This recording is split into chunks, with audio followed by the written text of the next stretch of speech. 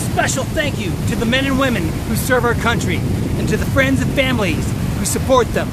The American people love you, and we are here for you. Thank you.